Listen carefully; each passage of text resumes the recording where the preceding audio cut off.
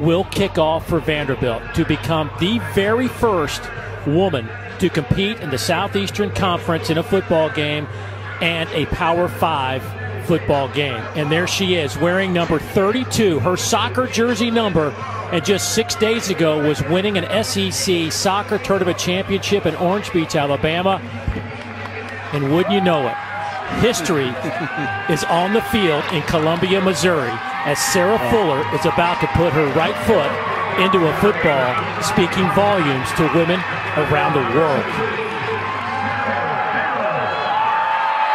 Awesome, awesome moment. You can hear the crowd. Everybody understands what's happening right now. This is a pretty cool moment.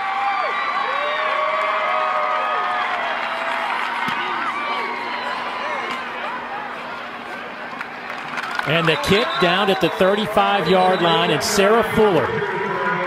Happy Thanksgiving. What a day. What a day in college football. Her mom and dad on hand to witness it. Her boyfriend, her best friend. I don't know about you, David. I got